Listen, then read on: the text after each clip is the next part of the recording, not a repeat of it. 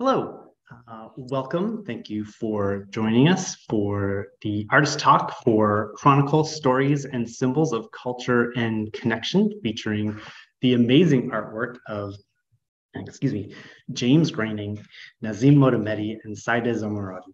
Uh, it's a fantastic exhibit with some really talented artists, and you're going to get a chance to hear from all of them tonight and catch a sneak peek of some of their beautiful artwork, which is up at the Kay Meek Art Center right now. Uh, my name is Stephen Snyder. I am the Gallery and Communications Coordinator for the West Vancouver Community Arts Council. And uh, we are so thrilled to partner with the Kay Meek to present this uh, stunning uh, exhibition. Uh, and we are coming to you uh, from uh, West Vancouver, where the Kay Meek is, at uh, 1700 Mathers Avenue. Uh, it's, a, it's a little ways up the hill. Um, but we're coming to you from West Vancouver, which is on the unceded and traditional territories of the Coast Salish peoples. Uh, here on the North Shore, that means the Squamish Nation, the Tsleil-Waututh Nation, and the Musqueam Nation. And the Arts Council is incredibly grateful to be able to gather on these lands for arts and culture activities and are incredibly grateful to our host nations, neighbors, community members for their stewardship of these lands since time immemorial. So, uh, Chronicle, Stories and Symbols of Culture and Connection, uh, as we said, is on up at the Kay Meek until May 21st of 2023. There's uh, 20, yeah, 2023, that's the year it is. Yeah. Uh, time, what does it mean now? Uh, so, uh, these artists all have uh, paintings, some mixed media work that are all telling uh, stories of some kind or using iconography and symbols uh, related to uh, the heritages that they come from. And sharing these stories uh, is a really important uh, important to, to these artists to do. And we're going to hear all about why and stories are telling and how they're telling them uh, coming up. But if you have any questions or comments for our three talented artists, you can drop those in the chat and we will get to them a little bit later in the evening. So uh, let's start off by meeting our fantastic artists. Uh, they're all going to tell you a little bit about themselves and their background. Um, let's start off with Saeideh. Saeideh, please introduce yourself. Um, I am uh, Saeideh. I'm born from Iran. Uh, first of all, I want to thank Steve, Steven and all the team and Kay Meek Gallery for this wonderful opportunity. Uh, I have been painting for many years and have exhibited in others country, but this exhibition is special to me because it's based on a subject that's been a long-term wish of mine. I am thrilled to have finally achieved something that's so dear to my heart, uh, related to my uh, passion for Iranian culture. Um, I choose um, this idea, uh, the poet, because I have a great interest in poetry uh, and it has always had a special place for me, especially Irani Iranian poets whose poems have been written more than 600 years ago, um, or some of them have been written a thousand years ago, but their poems are still alive and dynamic. I always thought that someday, one day, I, I should pay tribute to these great poets, and painting was uh, the only way for me to do it. Hmm.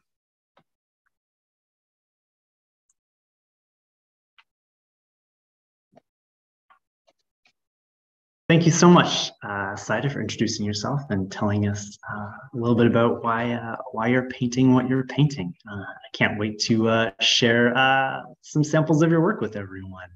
Uh, Nasim, why don't you introduce yourself? Thank you, Stephen. my name is Nasim Motamedi. I was born in Iran. I was 11 years old when my parents decided to send my sister, older sister, to England for studying. So me and my mom accompanied her, and we stayed there for two years. So I was enrolled in one of the schools uh, in Manchester, England, and uh, uh, my English wasn't very good. I couldn't communicate very well with other students. Um, but I was introduced to art instead. The art class in, uh, in that school was pretty much advanced. And I even remember the name of the teacher, Mr. Gibbons, uh, who taught me a lot. I was exposed to art. I learned lots of techniques and we drew, we painted with different materials. We even became creative. Uh, after that time, when we got back to Iran, I never left that passion for art. Uh, I decided to enroll myself for uh, University of Fine Arts.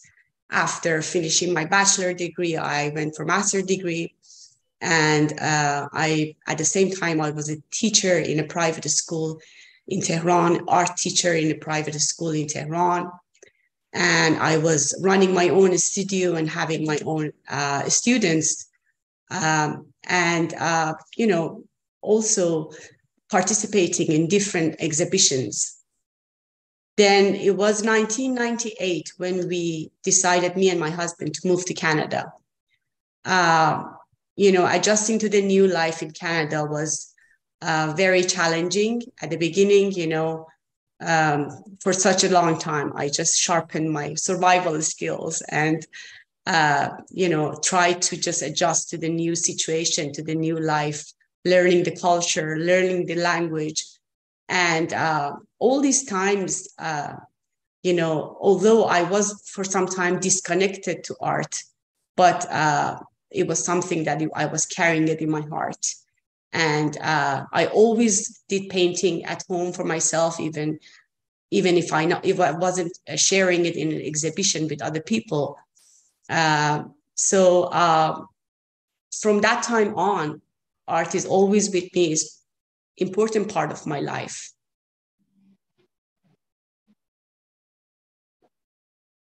Thank you uh, so much for sharing, Nasim. Love hearing everyone's stories and how they've all come to art. Uh, up next, James, please introduce yourself.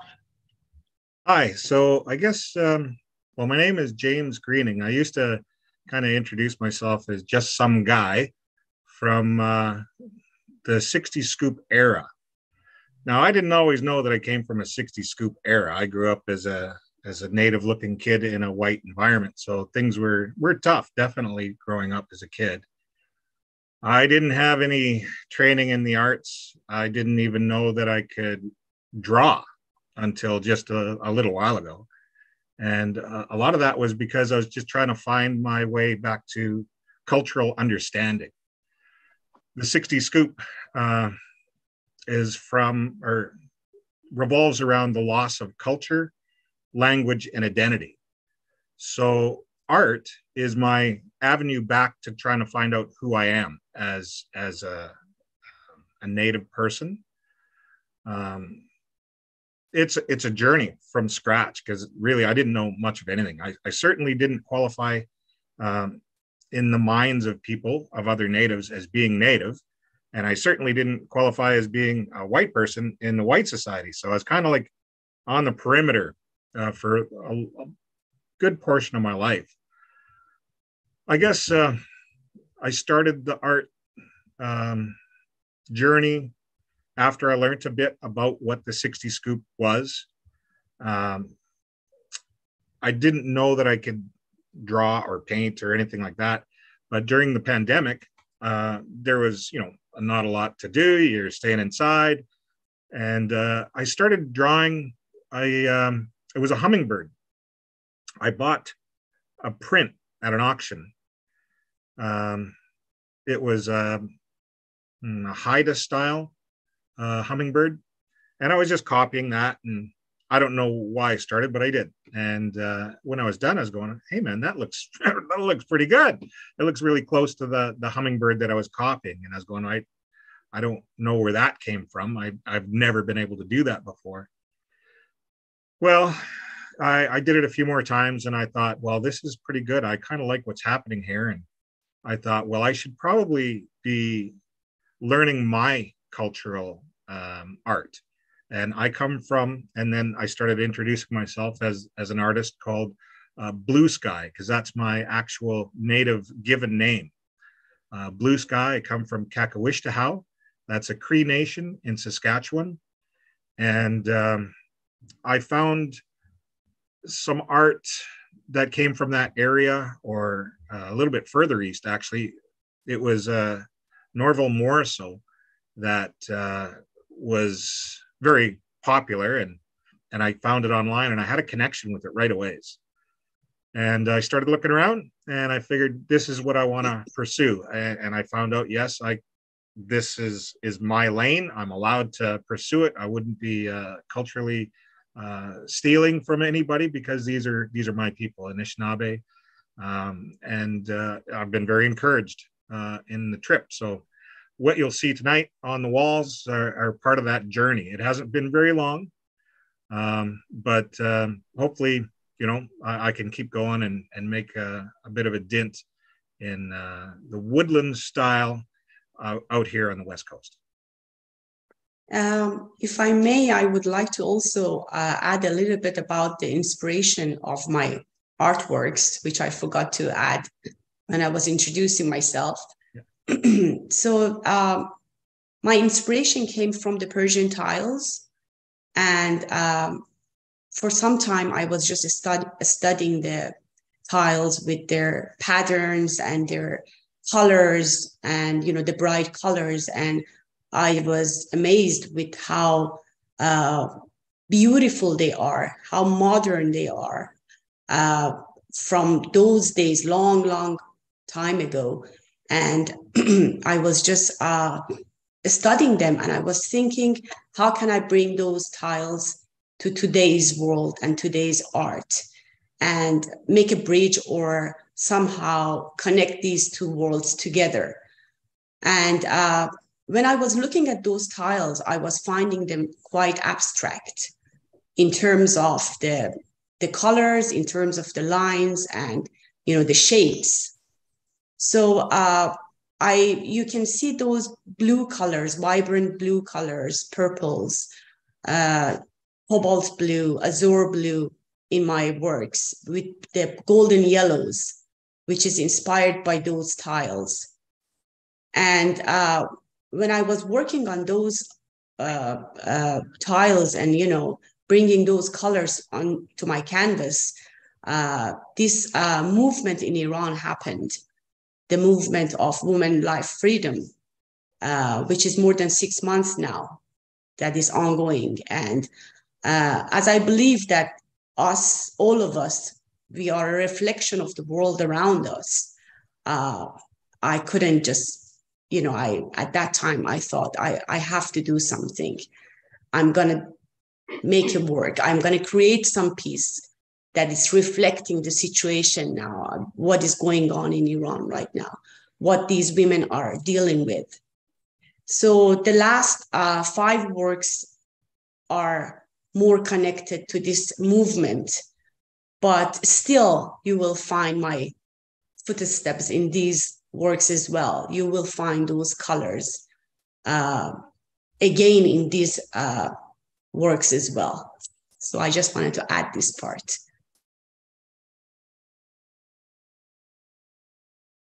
Well, uh, thank you, James, and thank you, Nasim, for sharing your journeys and inspiration. Thank you, Sadie, as well.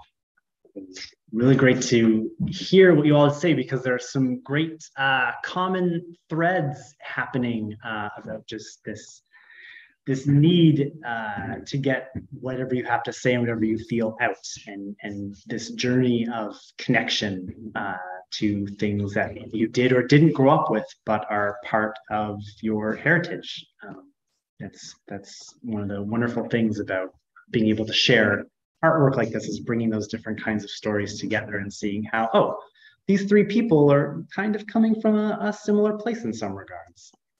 Um, so now we are going to take a, a, quick little tour of the exhibit so uh, everyone watching can uh, see what it looks like. Um, but it's just a little bit of a teaser um, because you really have to come in person and, and see everything because it's mm-hmm. it's really just stunning. So I'm just gonna pull that up for y'all right now.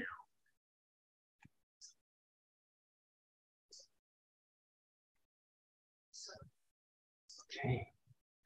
So uh, as you come in uh, onto the Kay Meek um, on the ground level at the Grosvenor Theater. That was kind of the an overview of that first floor. There's X, there's artwork on both floors for both theaters. Um, so we start off here at the atrium. We've got uh, some work uh, by James up first.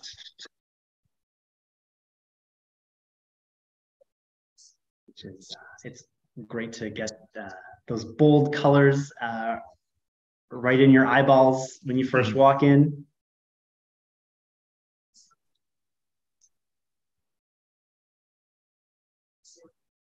Yeah, and it's uh yeah, as you can see, there's uh there's two drums uh, that you've painted, James, along with all of the canvases, which is thank you so much for including those. Yeah.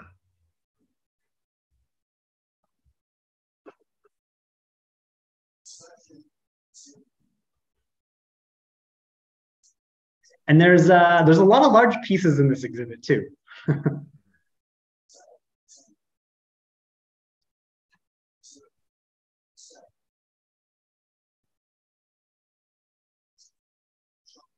Yeah, and then uh, on this floor, we move from James. We have some of uh, some pieces from Nasim.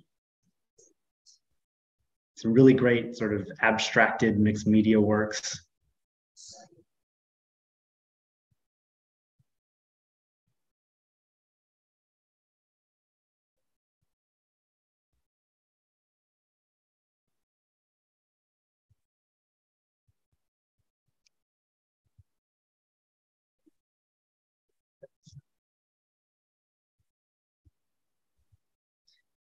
As we get through this first sort of sampling uh, of all the artwork. You can even tell right now um, between looking at James and Nasim, and next we're going to see some of Saeideh from some of your work, um, how different you all are uh, in your approaches, uh, your style, uh, the types of stories or motifs or, or, symbols you're trying to tell, but there is definitely a strong uh, there's a strength here. There's definitely a message coming through in all of your work. Yeah, so now we've got some beautiful pieces here from Saeideh up next.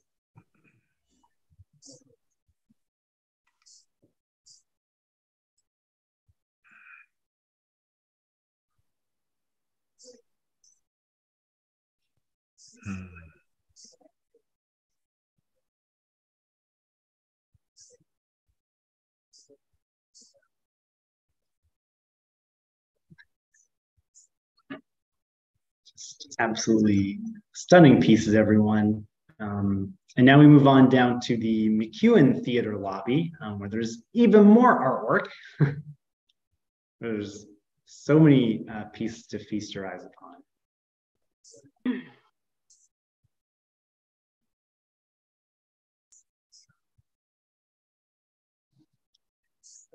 And as we were just saying, how uh, you all have such sort of different distinct styles. Um, even within some of the bodies of work themselves like Nasim you've got uh, a wide range of, uh, of, visual cues and motifs and, and and storytellings and even media happening. That's that's pretty great to see the variety. Yeah. These two that you are just showing right now are part of the uh, the woman life freedom movement with those three upstairs that we just saw so yeah. these two, the blue rainbow and the one beside, belong to those three. And the rest you are seeing are part of the uh, Persian tiles. The inspiration of the Persian tiles. Yeah.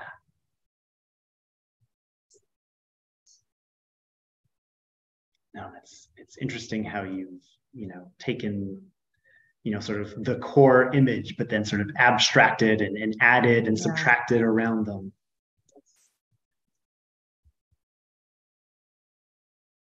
As i mentioned i was trying to make a bridge from the past to today's you know present.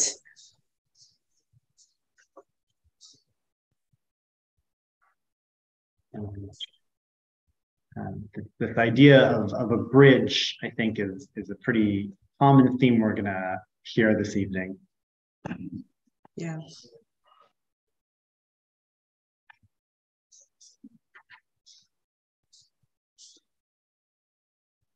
such such great textures. Yeah, and then we move into more of uh, more of Saeideh's work. Again, it's it's so so massive, so large. It's really also very impactful.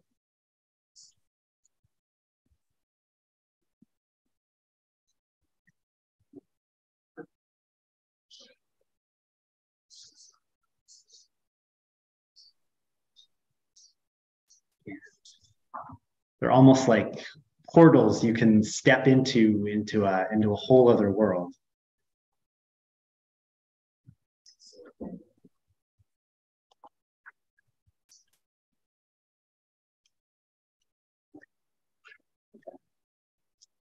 when we took this video we didn't have them up yet um, but Saeideh, with each of your pieces, you've included a, a, a little bit of a write up about um, each poet um, that has inspired each piece. And I thought that was really a really wonderful touch to, to share that information with viewers.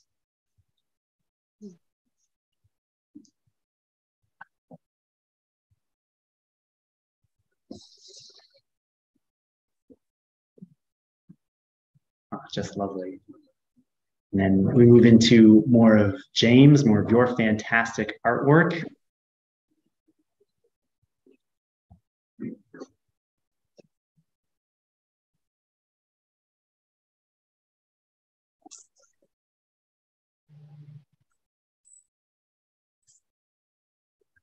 There's such such character uh, to all of the well, all of the characters uh, in your pieces, all, all the figures and the animals, they all have such such distinct personalities.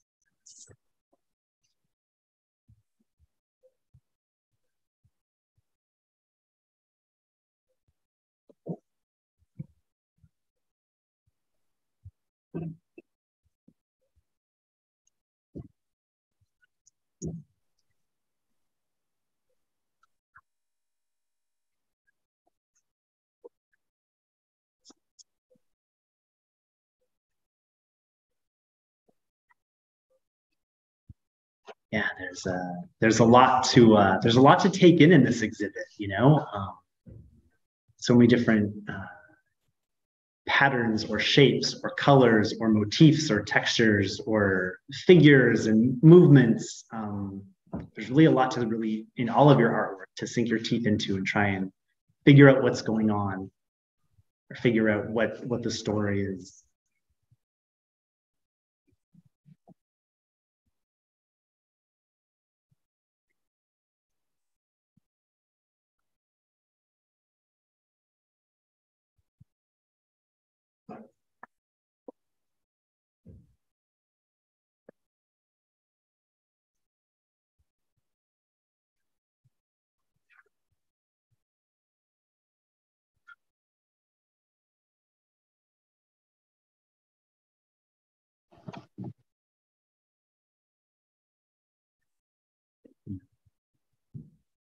part of uh, part of the woodland style, James. But I have to say, your your color choices are also really great. Really, I always really say, bold. I always say, I didn't, uh, I didn't make the colors, but I chose them. Uh, that's about as far as I can take credit. yeah. No, and every everyone's colors are are fantastic. Whether something is uh, in some of side of some of your pieces, they're they're a bit more muted, but there's always some kind of really brilliant light happening, you know. And and with Nasim, you've got all of these really everything's really rich and and and and feels really uh, uh, ancient almost, just because you've used these colors that are so uh, you've you've seen them in, in so many different types of paintings or mosaics or or motifs already. Everything there's a real history to the types of colors you've chosen. I think you've all your your color choices, all of you have, uh, I think, are definitely part of the stories you're trying to tell. It really yes, says a lot. Mm-hmm. Definitely, yeah. So now that uh, we've seen uh, sort of the exhibition as a whole and had a quick look at some of the pieces and heard from our talented artists, uh, giving you a bit of their background, uh, each of them has chosen uh, a work that's on display to go uh, a little bit more in depth about, um, so we can get a, a bit of a, a, a more stronger grasp of the body of work that they have on display. Uh, so let's start. Uh, Saeideh, let's start with you. I'm going to pull up this uh, beautiful uh, piece of yours, and uh, and then you can uh, tell us all about it.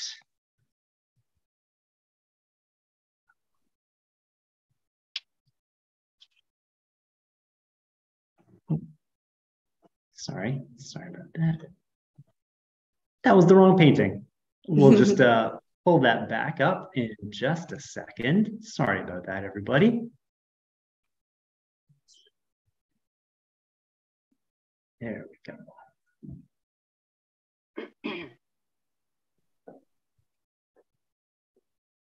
Great. Yes, please, Saeideh, please uh, tell us about this fantastic work of art.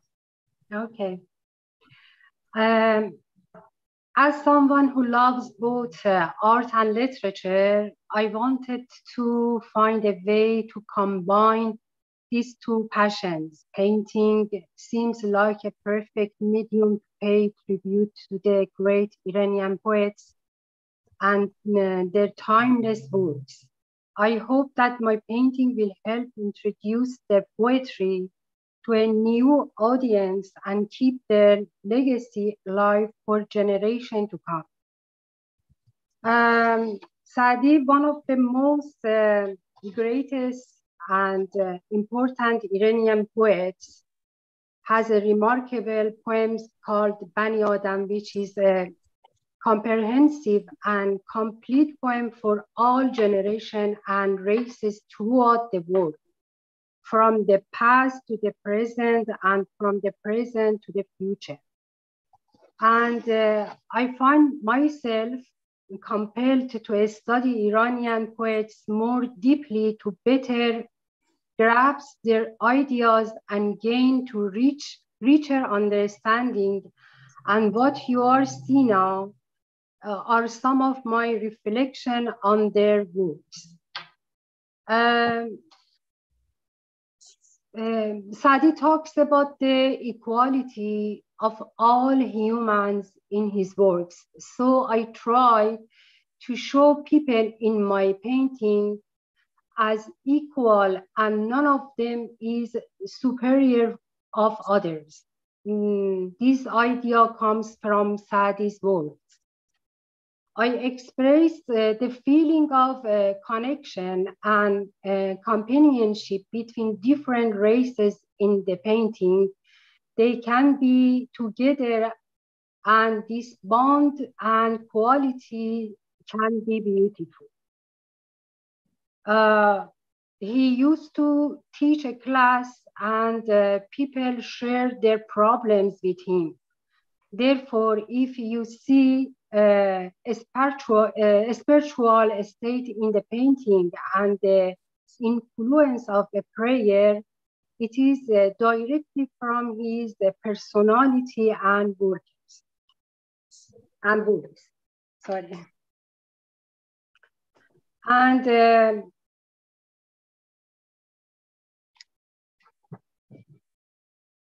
humans have together in the sky uh, which uh, is uh, common to all of us. then I have chosen the classical style because it gives me a better and more valuable historical sense.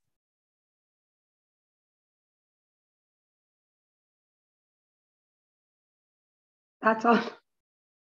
Wonderful. Thank you. Thank you so much for sharing um, and sharing uh, not only why you painted it, but sharing a little bit more about, about Sadi, about this this poet, which uh, I'm definitely going to go look up. Um, I really appreciate that uh, your your desire to show connection and companionship amongst uh, people. Uh, that's a that's a really beautiful and pretty common sense idea, um, but sometimes it needs to be stated. Um, and I think you've done that wonderfully in this piece. I think it's great. I like it a lot. Yeah. It's beautiful. Yes. Yeah. And uh, have you always um, painted in such a such a realistic style?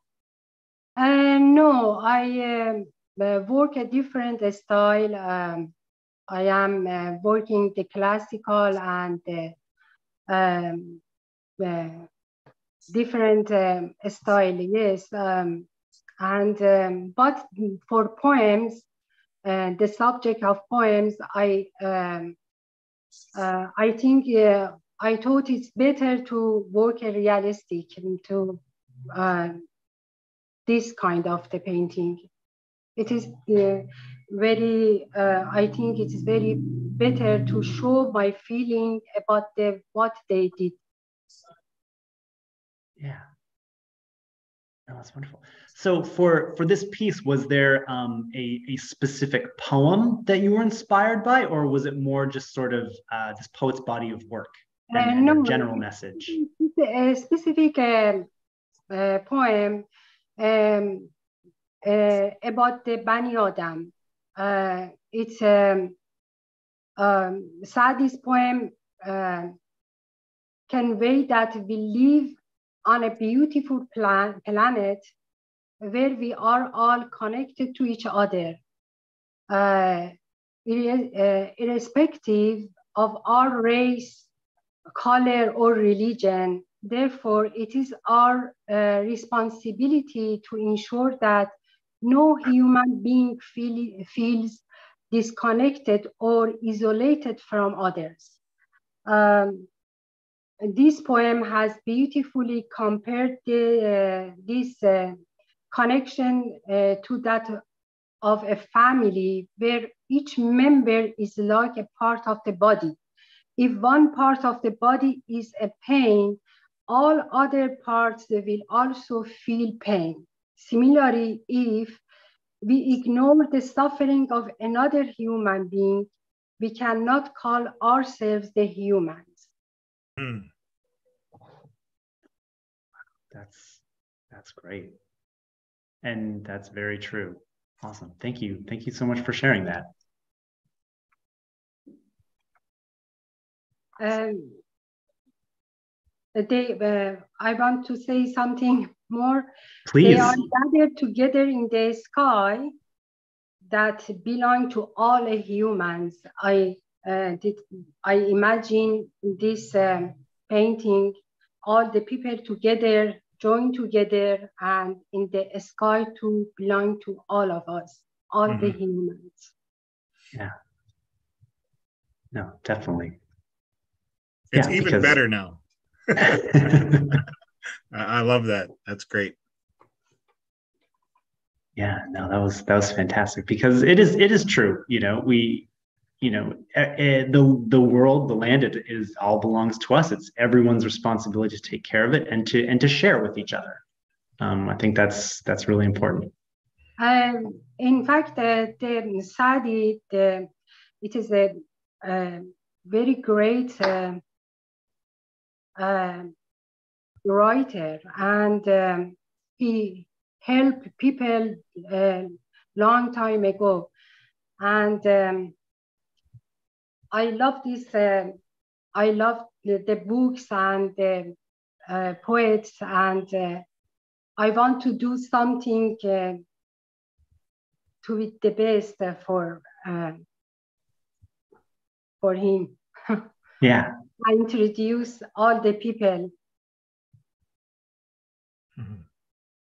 Yeah. No, that's that's fantastic. This this this desire to to share. Um, that's really important um, because who who knows who could become inspired now, uh, not only by your artwork, but then to go and do research on on these poets that have inspired it. Mm-hmm. So uh, next, Nasim, we're gonna talk about uh, the piece that you've chosen. Let me just pull it up here.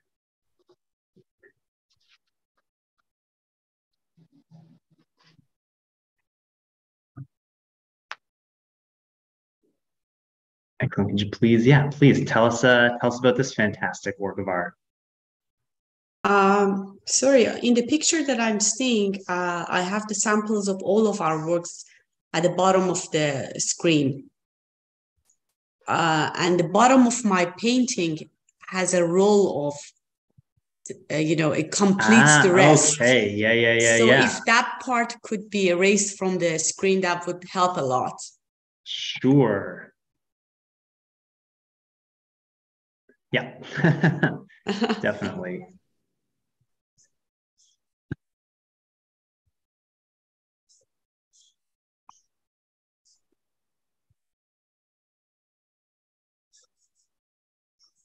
Excellent. Sorry about that. That's okay. Yeah, that's better. Thank you.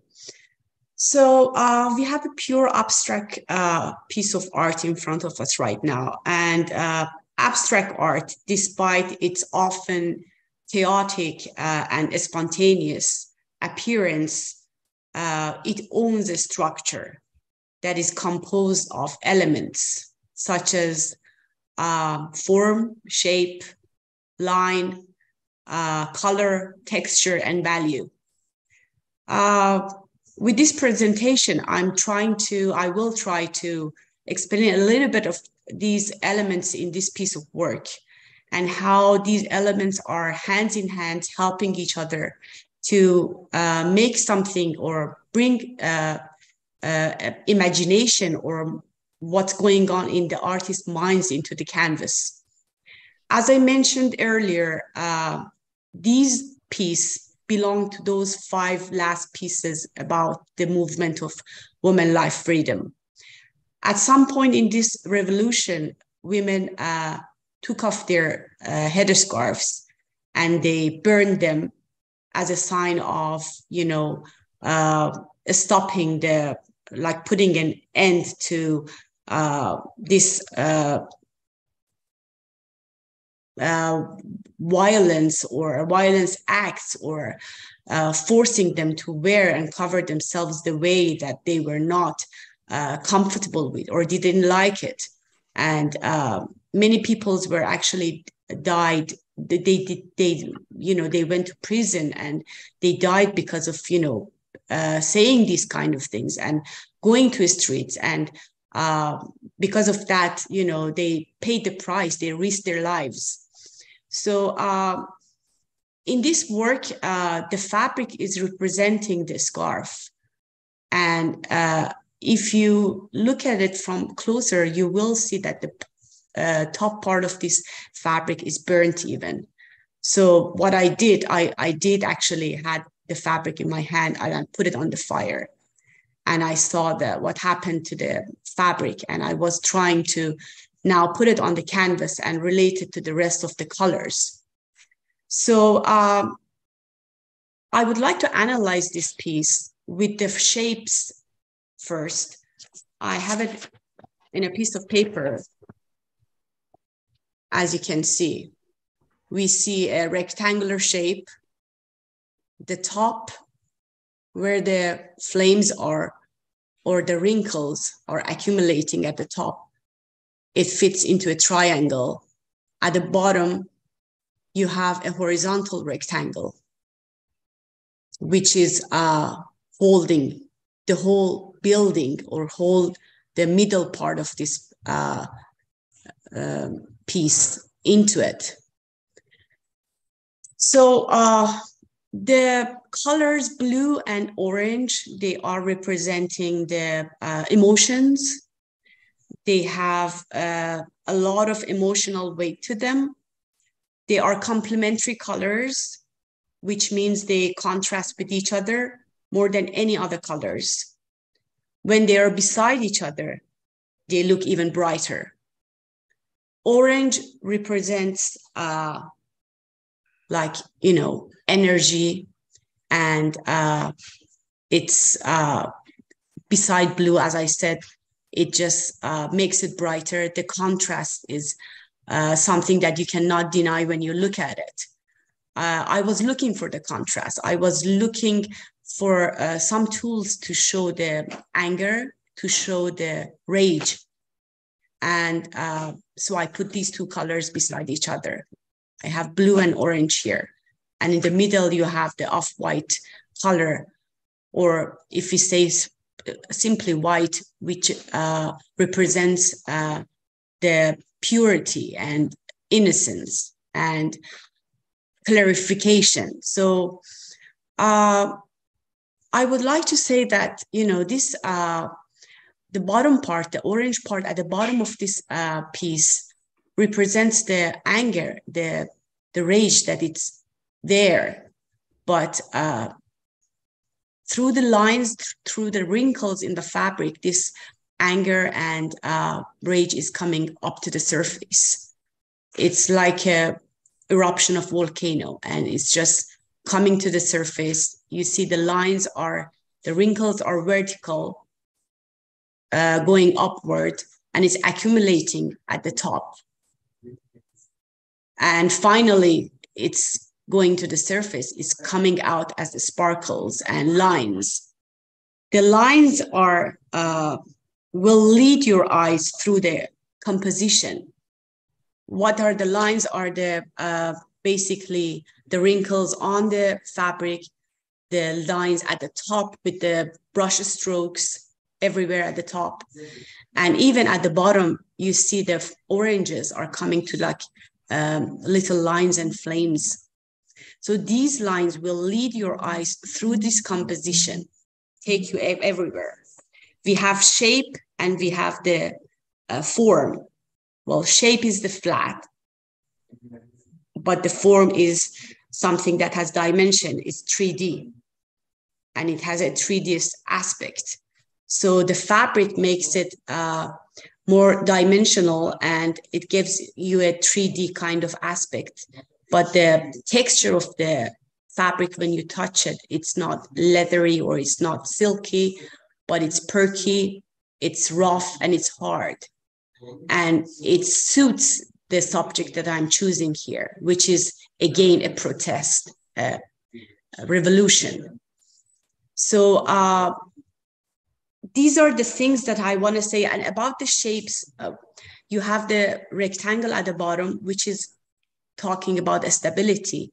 But at the top, if you feel the top part of the fabric in a triangle, triangle is movement. And uh, especially when it's pointing up, it has uh, the strongest compositional uh, shape it, it will turn to. So um, this triangle at the top is also a delta or a symbol in ancient Greek, which uh, again was representing of the movement. And uh, I hope that with this, uh, you know, explanation, you have a better understanding of how the elements of arts can help each other to, uh, uh, you know, somehow show the mind and what's going in the mind of the artist and how the artist is trying to talk to the viewer.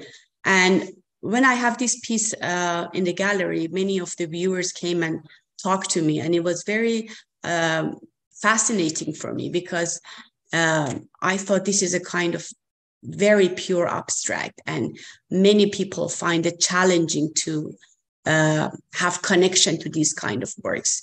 But to my surprise, many people come to me and say, "Wow, this work is talking to us. This work is saying a lot to us. We can't take our eyes off this work. What is it saying? What is it representing? it doesn't matter if it's they feel exactly what I had in mind because uh, this is not a poster for advertising. This is piece of art. It even I shouldn't say anything about the you know the inspiration that I had uh, behind this, but it's about the relation that you make with this piece of art. So when you as a viewer are looking at a piece of work, what makes you feel? How do you feel when you look at it? Does it speak to you? Do you want to see it again? Do you want to come to it and look at it for you know more than one or two minutes? So this is all about art, and uh, but the inspiration, as I mentioned, behind this was the movement, and I hope that I had some clarification and some answers for the questions that the viewers had. Awesome. Thank you. Thank you so much for sharing, uh, Nasim. And going into uh, like the elements of design. I think that's really important because viewers um, who maybe don't have uh, a background um, in uh, a more formal arts education um, might not make those connections, you know, and, and realize how you are using things like shapes and complementary colors and and form and space and all of that to tell your story. Um, I really appreciate you uh, going so in depth. Like that's great.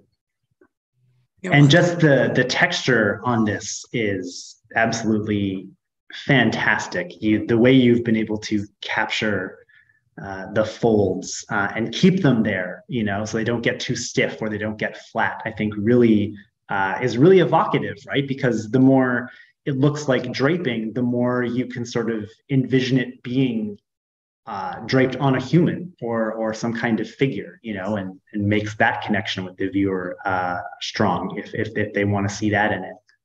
Yeah, people have people have said different things to me when they look at this piece. They say their own interpretation of the work, and you know, uh, but one thing is obvious: it catches your eyes and these this is because of the using those elements that i just mentioned the contrast mm. and the using uh, you know the proportions even the proportions the measurements uh, like uh, we have uh, when you are you're making a composition in a piece of art you have positive and negative spaces the main subjects will be the positive space and the rest will be the negative for example, if you're drawing a pen or a book on a table in a room, that table with the book is the positive space, and the wall and floor will be the negative. So the proportions are important. Whether you make the, that positive space bigger than the negative, it says it sends one message, and if you make it smaller, sends another message. So how this rectangle shape in the middle of this blue sky is representing itself. The size of it, how big it is compared to the negative space, is also, you know, making a dominant kind of, you know, message. And um, there are lots of things that it should be hand in hand in order for work to become successful, to become uh, whole and uh, and if you don't uh, follow those rules and if you don't know them it might happen by accident yes but uh, sometimes those accidents are something that it's uh, within you like i have the knowledge i don't calculate them when i want to put them on the canvas it just comes out mm-hmm. and you know it has happened to me before that I have done some works. I use some of the colors, textures, and then I wipe them away and put another, another, another. At the end, the work which is done is something that is coming from my mind, my soul, my experience of life. So uh, definitely, as I mentioned earlier, we are reflection of the world we are the reflection of the our work is reflection of our mm-hmm. experience in life. So the colors that i'm choosing the fabric i'm choosing texture everything all these elements that i mentioned are uh, making the piece of art which is original and it's coming absolutely from mind with no uh, you know uh, making it like duplicate. Like you know even if i wanted to make another thing like this i cannot copy this work. I would not be able. And uh, so this is something very interesting about the abstract work. I just wanted to give this uh, information because i know that you know um, it's difficult it's challenging for many people to make connection. And they ask me so what is it? So what is it about? What does it mean? Um, it doesn't mean anything and it means everything. So yeah. it's just about it's just about the relation that you have with the piece of work, your connection. Uh, I hope I gave enough information about this. Yeah. Oh, definitely. Yeah. No. And and you're right. That's that's what the point of all artwork is, right? Is is to make that connection to to exactly the viewer to figure out uh, what the story is for them. Yeah. Well, because uh, naturally we are looking for something that is realistic, that we can identify. And, uh, you know, when you cannot identify with the things, with your surroundings, with the subjects around you, with the real world that it's around you, you cannot understand it. And you become clueless of what is this piece of art talking about. But everything has a meaning. Everything, every form, every line, every you know texture, every color, it says something. Like um, earlier james was saying that i don't have the education about uh, you know art but uh, i would say james that with your work i can say what kind of person you are i hmm. can i can tell your personality with the colors you choose with the forms that you are bringing into the canvas so this is how art is connecting but it has a language you know and it's like alphabets when you know the alphabet, you can write something. You are doing it by your heart. And this is beautiful. And but we are enjoying it. We're enjoying your work because we understand that vocabulary. And uh, this is how the art works. Nice. Yeah. Yeah. totally. Thank you. Uh, and that's a great segue uh, to move in to talk about uh, James, about your work. Um, yeah. Like you said at the beginning, there's a lot of uh, commonalities between the three of us uh, with uh, connection and one where you said, um, what was the word? Um, your abstract came from within. Um, I think a lot of mine probably comes from within as well. And I always try to bring out connection. And you'll see that when we go to the painting there. Um, most of my paintings have what they call spirit lines. And those spirit lines, they, they show connection. So that's a common thread in woodlands style art as I'm learning uh, connections. Uh, in this, this is one of my earlier paintings I think I was just kind of playing with this, uh, just putting paint down, and then it just kind of developed into into what it is. But um, in this, it's called the Bird Council of Color, and uh, you can see all the different colors I have there. Uh, like you were saying earlier, I like to use colors that contrast. Um, it just was a natural kind of thing I found different things contrasted really well. And in this one, you see the yellow and the green. And um, what you see, well, I guess the connection uh, component in this is the leaves. If you look at the leaves, uh, some are a little bit light green, some are a little darker green, and they all have a different, mm, let's call it a symbol, a different uh, kind of lines on each one. Each one is its own individual self, but yet it's it's connected to the one plant, the one tree, uh, and yet uh, it's different. So I, I like to say uh, the same but different. We're all the same but different. We're individuals that are all connected, and and that is a planetary thing, like we discussed in the first painting. Um, there's people all around the world and we are all connected. We all have, um, mm, I don't know, for lack of a better word, maybe a spiritual connection to whatever degree. I I can't define that, but what I do relate to is if one of us is hurting, we're all hurting to a certain degree, and uh, so that's a truth that I think is shared around the world.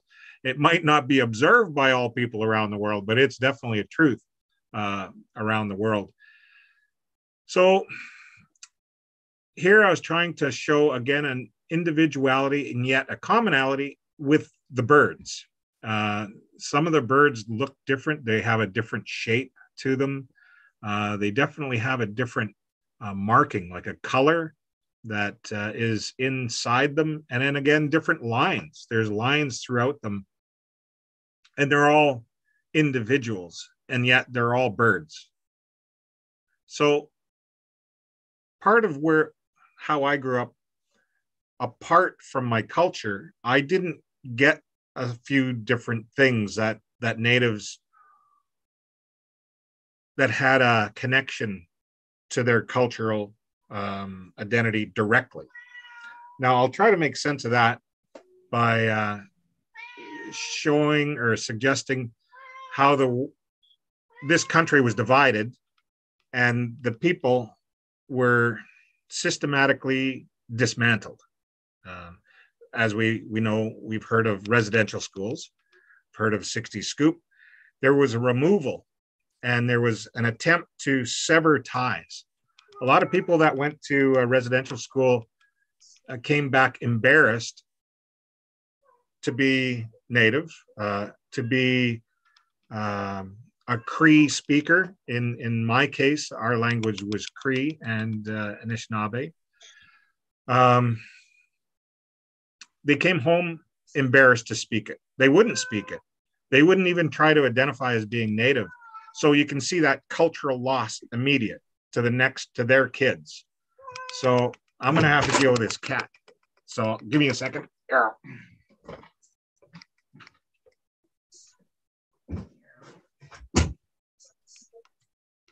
The wonder. When she hears me start talking, she wants to come and talk too. So she does.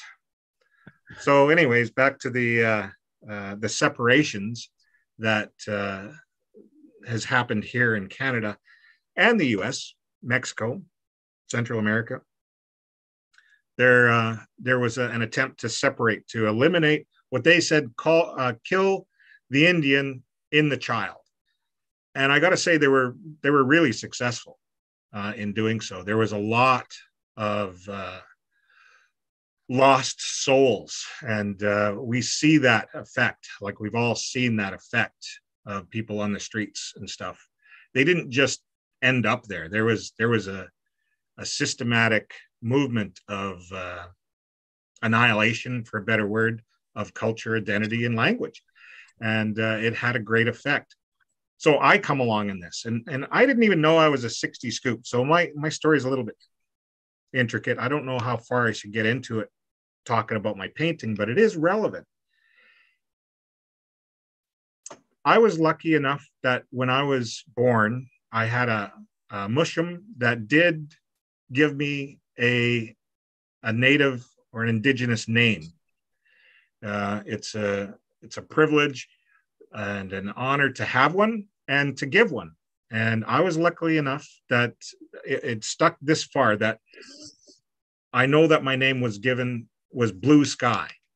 But when I met my mother, I think she was, or I was about 25. I was in my mid to late 20s when I first met her um, consciously. Uh, he, she said, uh, "You know, you have a native name," and I said, uh, "Yeah, it's it's Blue Sky. I, I knew this." And she was amazed, and she says, "But that wasn't all of it. There was more to your name than Blue Sky. There was Blue Sky, something, something." And but she had couldn't remember it either. Uh, it had been, you know, 25 years or so. So that part of me is missing in the wind. Something else that I didn't get was um, my colors. Um, natives, when they uh, dance, when they go to powwows, when they adorn their clothes, they'll have certain colors that they tend towards more often than not. And a lot of times these colors are given in a ceremony of some sort. And it's kind of like a rite of passage. Uh, well, I didn't, I didn't get that either. But what I was doing with this painting was uh, showing that there's all these different birds that had their colors, and they assembled that day for that one bird. You'll see him uh, as I'm looking at the painting on the left side, halfway up on a branch by himself, and he's looking up at the sun that bird doesn't have any colors. And what I found when I started painting and, and sharing, I found out that I wasn't alone. This wasn't um, an anomaly. I wasn't a one off. in this. There were a lot of people that had been mm, hiding, uh, were ashamed, uh, were trying, as it were, to regain uh, a cultural connection. And, and they seem to be a little more brave to come out of the, the shadows, as myself included. Um, and we were trying to identify ourselves with their culture and, and identity. And there was a lot of us that didn't have our colors. A lot of us that didn't have names. A lot of us that didn't know a, a word of our uh, of our language. And uh, so, as a result, I, I, came up with this idea to show myself. I, I never got my colors, but luckily there was just this uh, connection that I had with a few different colors that I used or found myself using quite a bit because they they kind of vibrated with each other, and I just liked how it was when I put them together, and the contrast that they gave, and your eyes were kind of fighting. It's going, what's going on? There seems to be like a little bit of vibration. There's life. It's alive. So in this uh, picture, you see the bird. He's looking up at the sun, and in the sun, you'll see a little bird flying in, and in the tail, there's three colors. And it's like they came together that day and they decided what that bird's colors would be. I remember sharing this uh, painting with the lady. She came over, and uh, as I was telling her the story about it, she began to weep. And it was because that was her story too. Uh, what I found was there was a lot of us that had the same kind of story, uh, trying to get back something that was almost completely lost. So it's it's definitely a journey, um, but luckily we're not alone, and this is this is something that I appreciate quite a bit. That there is a, a lot of other people. I thought I was alone, like I mentioned earlier. Uh, I didn't fit in the native world, and I didn't fit in the white world, and I felt like I was ostracized. I was out by myself. But more recently, like I said, there are quite a few people that are trying to learn, trying to get their way back home uh, to their identity and, and uh, just pride of being who you are. Um, so it's it's a marvelous thing. Uh, it's a uh, a journey I'm enjoying quite a bit. I guess if we go to that other um, painting now, we'll see kind of like a result to this. I painted this one and then right after, I painted this one. Uh, this one directly reflects the other because what we have here is that bird that was sitting on that branch reveals himself at his first powwow. And he goes to the powwow wearing the three colors that was given to him that day on his cheek and in his feathers. So it turns out he's from the Eagle clan. See, I got a little creative because even in my band, they don't know their clans anymore. Like it, it's all been taken away uh, through the residential schools and stuff, and uh, they don't know clans, uh, what their clans might have been. And all those clans, they had a. It's kind of like almost like a political party, not so much political as it was uh, purpose. Uh, some clans were um, given different duties to serve the whole.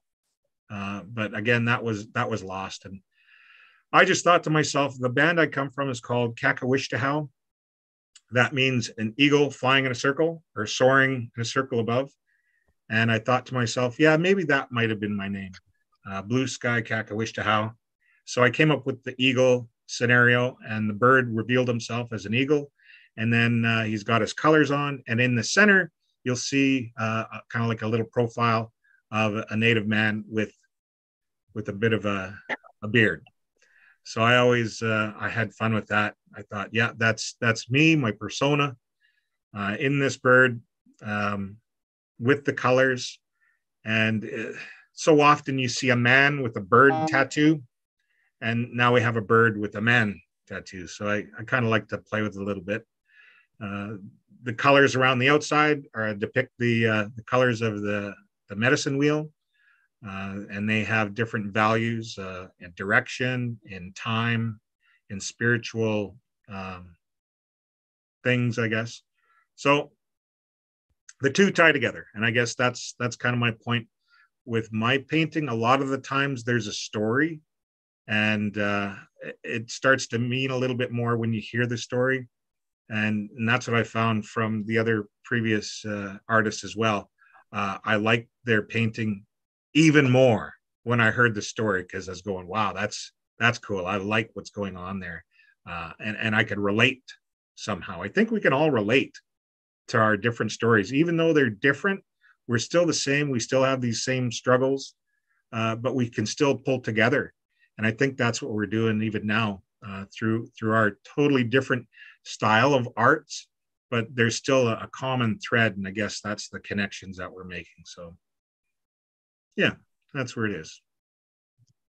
Yeah, definitely. Awesome. Thanks. Thanks so much uh, for sharing that, James. And I think I think you're right. Um, in all of the artwork uh, that we've seen tonight and heard you all talk about, uh, connection is, I think, the connection. Mm-hmm. Uh, a lot of the the things that you're you're all talking about are things about uh, people um, coming together. Maybe they've they've been divided, um, but now is the time for them to to make that connection with each other, and that's something that I think we can all recognize and hope for and strive for. And seeing examples of that in artwork like this, uh, as you've all said, is pretty inspiring. Whether it's uh, something that's going to bring you together to uh, join a fight or bring you together uh, in in peaceful contemplation or just bring you together in in joy and knowing that you're not alone uh, mm. is is pretty is pretty powerful stuff. Yeah, awesome. So I really enjoyed uh, the explanation mm. about your first piece of art that you showed us, James Mm-hmm. Um, it was very interesting for me. Uh, just one point I made uh, when I was looking at it, when you were explaining about the bird with no color on it, yeah. uh, which was representing you. You know, um, if you look again, uh, you have uh, you've got plenty of birds on that tree, but the one that is representing you is not necessarily the smallest one and this mm-hmm. is the very nice thing that I noticed. Mm-hmm. So you might not have the color on that branch sitting there on that branch, but you're almost as the biggest bird on that, you know, picture, which is representing your big heart. so uh, you know, that's the beauty of it. Although there's no color, but you have the the heart and you know those mm that size of bird is saying a lot. yeah, that's thank you for sharing it. Yeah, thank you.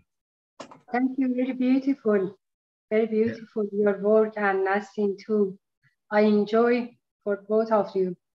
Yeah. Thank you. The color and the shape, everything. Thanks. Yeah, thank you.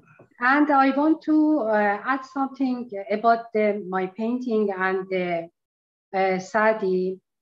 Um, I want to say he was, uh, Sadi was a famous person during uh, his lifetime and his works uh, have been translated into many languages. Many poets and writers and painters have been influenced by him. And I always wanted to create an image that would encourage people, both those, both those who know him and those who don't to read his works, I hope to give them a better understanding of his great works.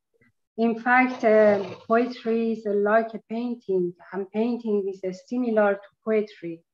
They reflect each other and change their work and name with one another. We say that the painting is silent and the poetry is expressive uh, poets compose what is uh, pleasing to the ear and the painters uh, depict what appears beautiful. And in my um, painter, the Sadi painter um, painting, you can see each of the character is taught to be in their own thoughts and imagination, but you can see to unity in the depth depth of the whole painting, just, uh, just like us people in the world. I want to add this and we must leave soon because I have a class. And thank you, Stephen and Nasim and James. Yeah, well, thank you. Very good. Uh, thank you. All of you for sharing your fantastic artwork in this exhibition and for this conversation uh, and sharing uh, where you're coming from as an artist um, and kind of what you're hoping uh, to impart upon viewers and what you're hoping that they'll uh, make up for themselves. Uh, it's it's pretty wonderful. Uh, it's it's great to see how you all bring reference points um, from your uh, uh, from your your cultures, your heritage, the the things that you hold dear, um, and and share them um, with thousands of people who might not share those same reference points um, but you're sharing as we've said these these stories or ideas or emotions that everyone can connect with i think that's mm-hmm. as you've all said that's the power of artwork right is to make connections so i hope that uh, everyone watching uh, has made uh, a connection with our three talented artists and with the artwork and will hopefully go see uh, this art exhibit, while it's up on display, uh, Chronicle, Stories and Symbols of Culture and Connection is on display at the Kay Arts Center uh, until May 21st. Uh, so please go check it out and see all this fantastic work with your own eyes. Uh, and if you want to learn more about our three amazing artists, uh, you can find in the description of this video uh, links where you can follow them and see what they're up to and see what new work they're doing. So thank you, James Groening, Nasim Motamedi, and Saeideh Zomorrodi for your beautiful artwork and for your fantastic conversation. And thank you thank you, Stephen. Amik Art Center. Uh, I enjoyed it. Thank you. Totally. Could I mention real quick? Yes. I, I, just because we have a uh, an opportunity, yeah. I am doing an artist talk on the 27th of this month. Um, Great. At Pomo Art Gallery. Sorry, just uh, it has three more of the big orange paintings that are at Kay Meeks. There's three more that are there, and I'll be doing an artist talk on the 27th. That's Thursday at Pomo. So that's just uh, another place. Maybe you can come out and see us, and yeah, I can share a little. Sorry, more. what time, James? I think it's six o'clock. Okay. Yeah. Yeah. Thank you. Pomo. Great. Yeah. Thank you. Thanks for sharing it. Thank you. Totally. And thank you, uh, everyone who is watching this live and everyone who's going to uh, watch it in the future. Uh, so again, thank you to our fantastic artists. Uh, and I hope that uh, everyone watching uh, goes and sees the show and follows them in their amazing art journeys on the rest of rest of their career. So thanks for joining us and take care. Thank you. Have a nice evening. See you. Bye.